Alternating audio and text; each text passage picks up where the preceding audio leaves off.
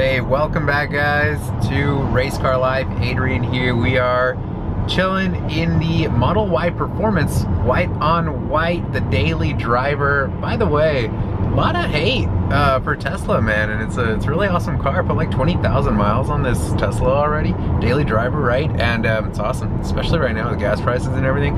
But that being said, we are heading back home. We are picking up the twin turbo Huracan because I want to do a walk around on it. I think I finally fixed the lighting. Like lighting looks okay right now. Um, the camera was completely messed up. I picked it up and I had to do like a factory reset um, and go through like all the settings and stuff. So I don't know if I did it right this time. Hopefully I did. That way we can do a walk around of the entire uh, car there, uh, the Huracan, um, and then I can go over some more details on the car. You guys can get a better look at it because the previous video, Even during editing, I did like all the automatic uh, color changing with exposure and all that kind of stuff. I don't know. I, I probably sound dumb because I, I, actually don't really know what I'm talking about. But anyway, long story short, um, there was there was no fixing that. The footage was just gone. It was terrible. So uh, we're gonna go pick it up. Uh, gonna do some sound tests on it, uh, get the turbo spool and do a little walk around just so you guys can kind of see it a little better. Um, so yeah, I'll be home in just minutes. Autopilot Life is awesome. I'll see you guys in a second.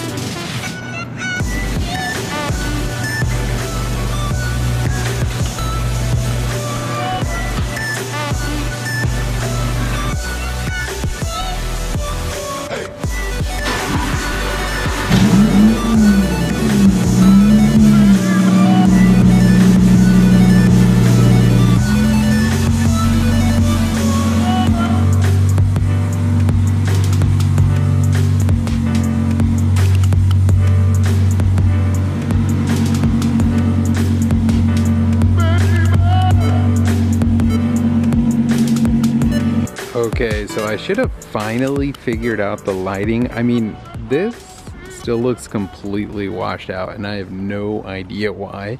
But here's a quick walk around.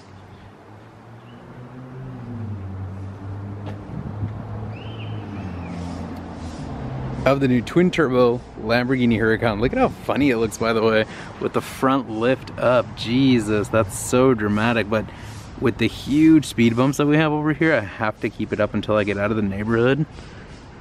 See, this completely washes out right here and I can't figure out why.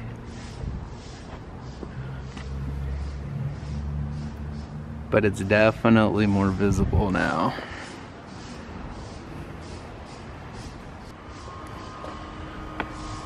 Okay. And here we are. So again, stage one, I think, is what I was told, twin turbo kit. I don't really know what the difference is between stage one, two, etc. Um, when it comes to the twin turbo kits. But what I do know for sure um, is that this thing is ridiculously fun. Let's see if you could kind of peek through there. Now it's a little dark actually, but you can see the cone filters coming up. Wastegates, blow valves, right, everything. I mean, the thing is nuts. We're gonna definitely be having a lot of fun with it. You know what's funny is I haven't actually opened the front. Uh, the front, let's do that real quick.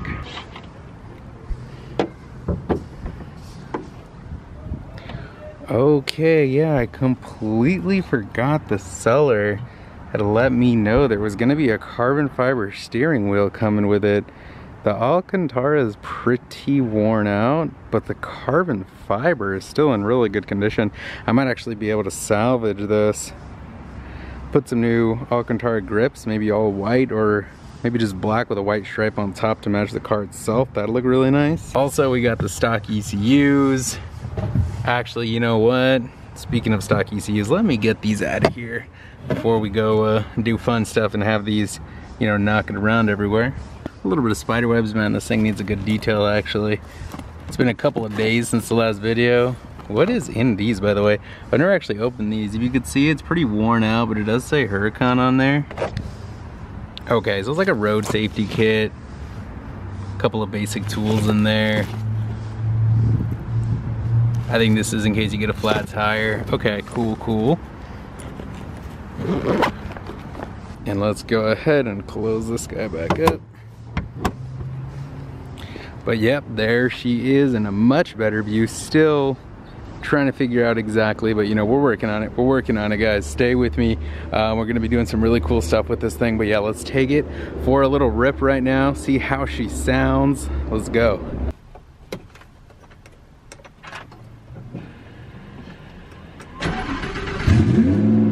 Oh my God, that's not gonna get old. I'll tell you that right now. Okay, so this should be little bit better. Uh, we're definitely gonna do a couple of pulls in this thing, see how she sounds. But yeah, twin turbo, we gotta let it warm up a little bit. Um, the lighting is still not great. I saw, I was like, okay, you can actually see the body of the car a little bit more, so that's nice. But overall, the picture is so washed out. If you have any tips on uh, how to get the lighting down, let me know. Watched a couple of videos, lowered the ISO and the exposure, but man, for some reason it completely washes out the car. Um, so it's kind of weird, but uh, yeah, hopefully we can fix that soon. And here we go. Look at these bumps right here. Thank goodness for the lift.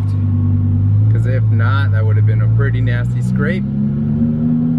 And then we don't have to go like extremely sideways, you know, uh, just to get over it uh, because the lift helps out with that. Otherwise, you know, we'd be doing one of those zigzags, but right here, same thing, right?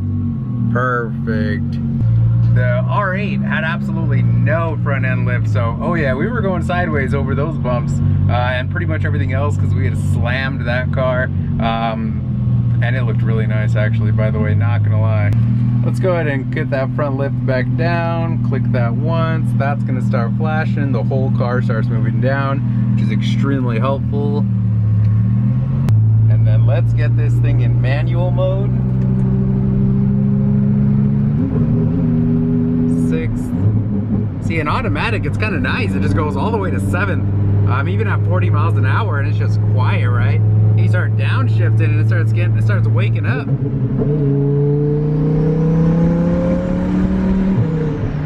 Oh, there we go. She's getting a little warm, not quite there. It's all right. Got to warm up the tires just a little bit more, warm up the car. Baby pulls, baby pulls. Oh, wow. Mind baby, the turbos just kick in and you got to just roll with it. Man, I don't know if you can hear those pops coming through. Sounds pretty insane. Here we go, this is what I'm talking about. All right, and let it spool and hit it.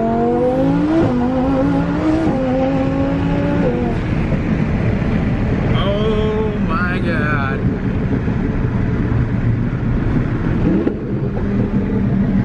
Tell you right now, I don't know if that's ever gonna get old. This thing is insane. I definitely gotta set up my GoPros and stuff for some better, uh, better angles there. But uh, yeah, this thing is, this is gonna be fun. It's gonna be a fun 70,000 next miles, let me tell you. Okay, we are gonna swap over to the GoPro real quick because it looks like it has a way better range of view. I gotta figure out how to get my camera to be on this range. This is like perfect right here. Uh, so GoPro it is for uh, the next pull right here.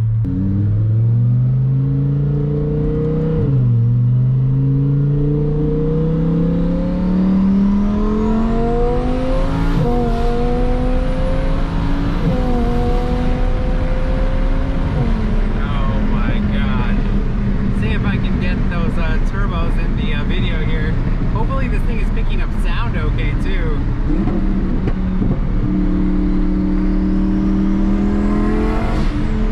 Oh my gosh.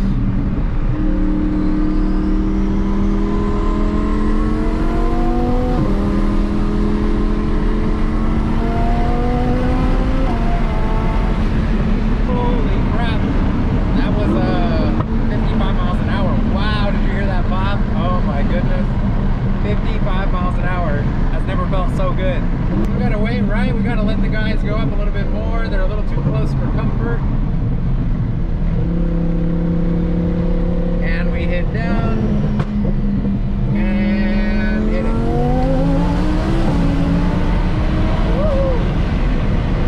Oh my gosh.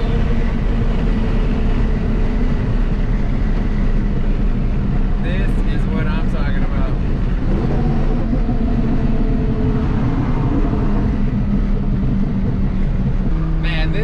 is not for the faint-hearted, I'll tell you that. I mean, it just throws you back. You know how most cars, it doesn't throw you back unless you're in the passenger side? Uh, this thing will throw you back even if you're the driver. It's pretty nuts.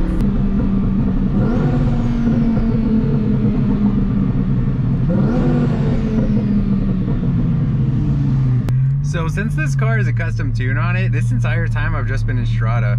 Thing about uh, Sport and Corsa in this car is that turns up the boost big time. Uh, I've never actually tried them yet. I mean, I've tried Sport, not a big difference. It's like a little bit more boost. But from what I was told, Corsa is going to be your biggest change in power. Um, again, under a normal car, it would just kind of like open up the valves, right? Um, and maybe turn up the power, you know, a little bit via the electronics. But uh, in this case, we're talking 100 more wheel horsepower. And uh, we're to try it right now. Okay, Corsa is activated. Oh my god!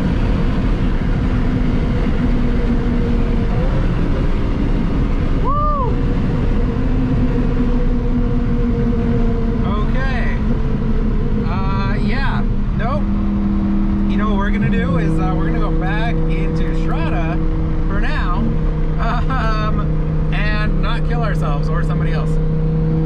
Holy crap! Yeah, I knew they told me it would be a difference of like a hundred wheel horsepower. Um, I just I never actually tried it, um, and that was a and that was not like slamming the pedal to the floor. That was like a gradual acceleration.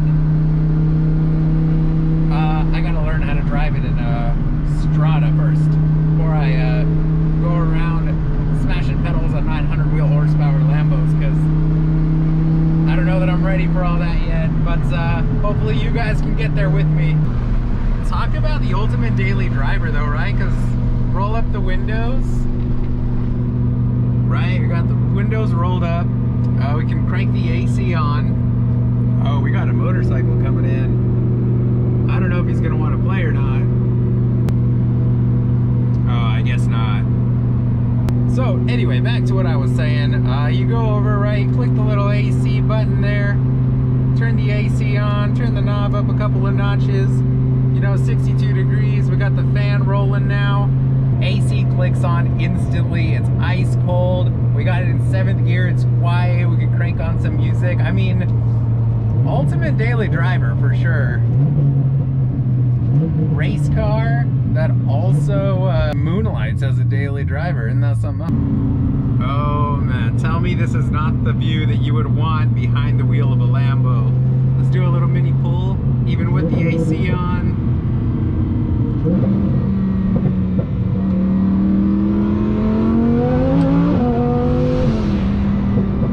Holy crap. Man, even from in the cabin, you can hear the blow-off valves. They are insane. Whew. I hope that comes out on camera. That's really nice.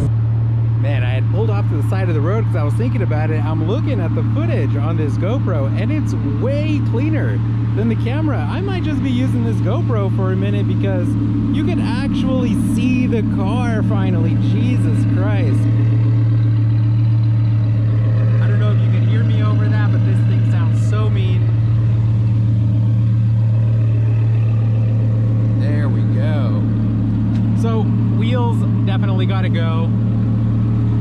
The calipers are nice because they're gloss black, but honestly, I don't think I'll be keeping the gloss black. I think we're definitely gonna have to go like a bright color on the calipers. So I was thinking white on white would look really nice.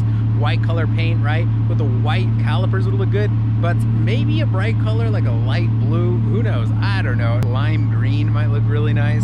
We definitely gotta make them pop though, because right now they just kind of blend in. Um, and these wheels are not only filthy, but uh, really ugly too. Looks like a smoked side markers, which is nice because that's something that I'm not gonna have to do later. Definitely some imperfections if you look close. The paint isn't the greatest. There's a couple little scratches here and there, little nicks and stuff in the clear coat, but it has 30,000 miles. Obviously, it's gonna have a couple of little issues. Like, everything is cosmetic. The actual car runs flawlessly, which I've loved. Um, and it's definitely a car that I have never experienced this much power before. Uh, so it's definitely gonna be fun learning how to properly drive.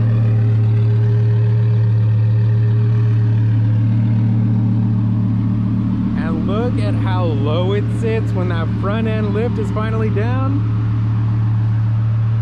I mean, it is on the floor. So imagine if the wheels came out just a little bit more. 1016 Performante style front bumper, satin white clear wrap. Maybe get some carbon fiber side skirts, center tri or quad exhaust. I don't know.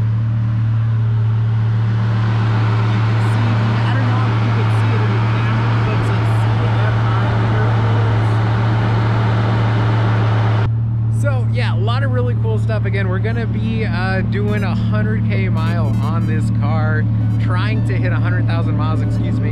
And uh, I just wanted to do another walk around. The camera quality was awful. I wasn't expecting it to be that day obviously on my delivery day but uh, another walk around to see the car just a little bit better